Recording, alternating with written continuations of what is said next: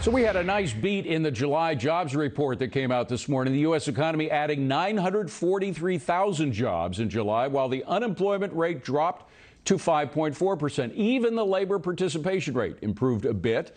Uh, with us now is Kristin Tate, the Liberal Invasion of Red State America author. Kristin, great to see you. Thanks for coming in. Now, I don't want to bury the good news because it is good news. The economy's coming back. Americans know how to work, they know how to produce, but we still have 9.3 million unfilled jobs. And that's causing a hell of a problem for companies that want to get back in full uh, compliance with the demand out there. There's a lot of demand with people that have money, but they can't meet the demand. The businesses can't because they can't find the labor. When does that end?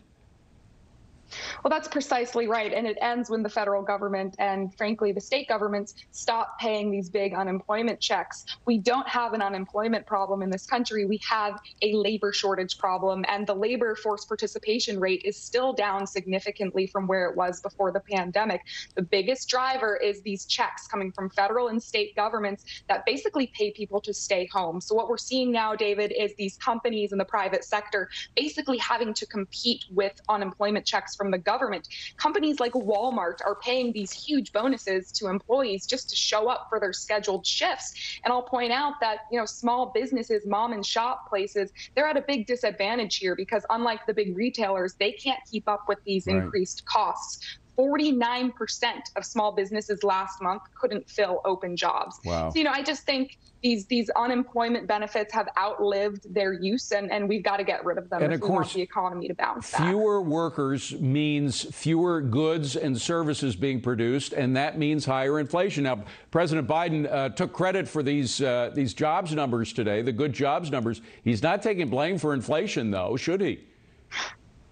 Well, of course, uh, the government uh, the government needs to just kind of step back and let the private sector do its thing. Uh, the, the the supply chains have been severely disrupted because truck drivers and factory workers and all kinds of other workers that are really critical to the economy can often make more money staying at home. So because of this labor shortage, cost of everything from coffee to gas to lumber is way up. And who does that hurt most? Of course, it hurts the working class and the right. poor the most. These are folks who still have to put gas in their cars. You know, they still have to go to the grocery stores. So that's that's what's really shameful about this. You know, there's the there, most vulnerable who get hurt most. There's something else that's happened to our, our labor market, and it may be temporary, but but a lot of people are complaining that service isn't what it used to be. It's it's not because the incentives for keeping a job are far less because they people know, well, if I lose this job, maybe I could even make more money getting unemployment benefits.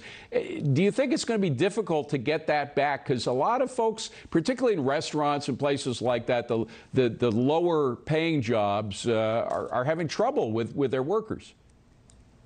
That's right. I, I, actually think this problem will be corrected pretty quickly yeah. when the unemployment benefits stop. My stepmother owns some restaurants in the Boston area. She's had a lot of trouble keeping employees everywhere you go. I mean, I'm sure your viewers, no matter where they live, you, you see these help wanted signs everywhere. Uh, there's a Dunkin' Donuts up in my hometown in New Hampshire that's been closed for a year, and they have a sign on the door that says, "We're sorry, we're closed because we can't find right. workers." Right. I mean, it's really it's a problem, but I do think it will correct pretty quickly. I, when the, I when hope it does. Stop. I sincerely hope it does. Kristin, thank you so much for coming in. I appreciate it. Good to see you.